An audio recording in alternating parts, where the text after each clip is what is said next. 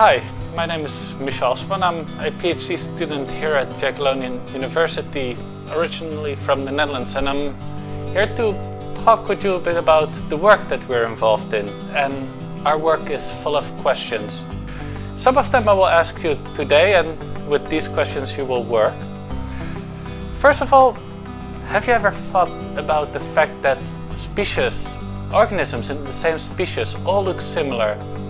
For example, a tulip. If you have all these different tulips bulbs that you can buy at the market in Amsterdam, if you plant them all, a similar tulip originates from every single one. The same within your family.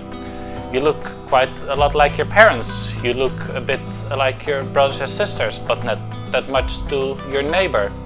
Then some other things. When we talk about animals, they behave in a certain way. If we have all these young little baby turtles that just came out of the edge in the middle of a tropical beach, they all know that they have to crawl to the sea and swim away.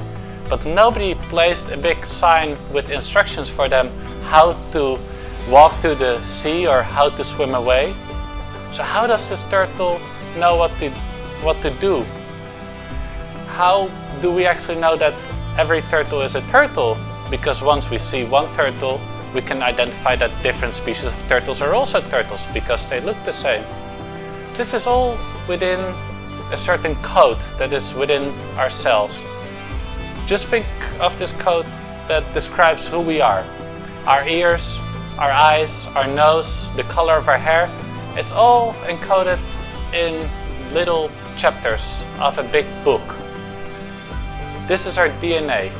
It's present in every cell but of course, we don't walk around with a big book with all this information about ourselves in every cell. This would be quite strange. DNA is more like this ladder here. It's twisted around so it becomes shorter and it would fit into our cells.